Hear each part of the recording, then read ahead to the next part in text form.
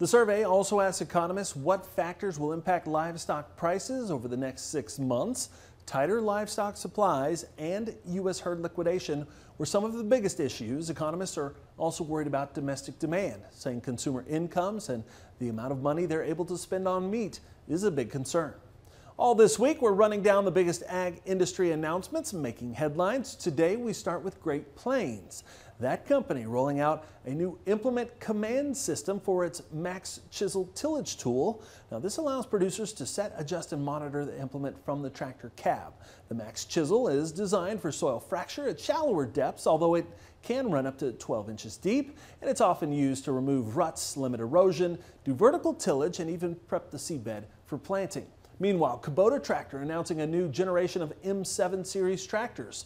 The new models allow farmers to optimize a tractor for their specific needs, including for hay operations, loader work, and small to mid-size row crop farming. The new M7s come with a more powerful loader, multi-speed steering control, new LED lights, and improved DEF tanks, auto air temperature control inside the cab, and a choice for mechanical or air suspension of the seat.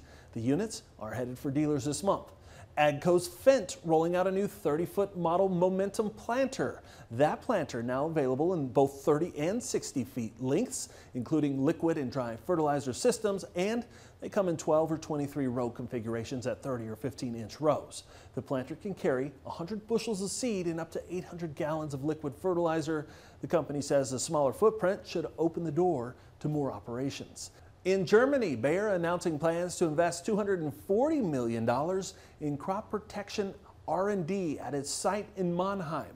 This will be its single largest investment in crop protection since opening that campus in 1979. Now, Bayer is expected to build new labs, offices, and a greenhouse area with room for roughly 200 employees. The idea is to focus on the next generation of chemistry and human safety for crop protection.